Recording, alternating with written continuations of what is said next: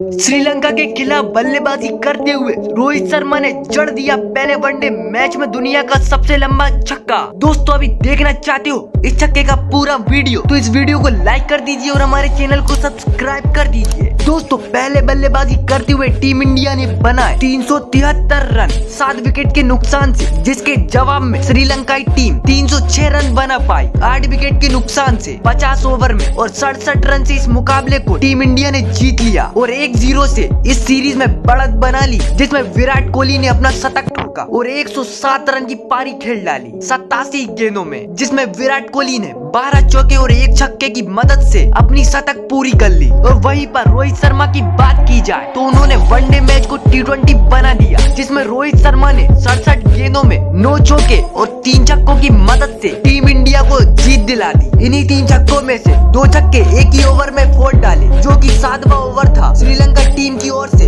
उसके बाद सातवें ओवर की चौथी गेंद पर दुनिया का जड़ दिया सबसे लंबा छक्का और तोड़ दिया 130 साल पुराना रिकॉर्ड। दोस्तों, आप कमेंट बॉक्स में ज़रूर बताना, क्या रोहित शर्मा इस बार टीम इंडिया को वर्ल्ड कप 2023 में चैंपियन बनाने में कामयाब होंगे या नहीं? और ऐसी क्रिकेट से जुड़ी जानकारी जानने के लिए हमारे चैनल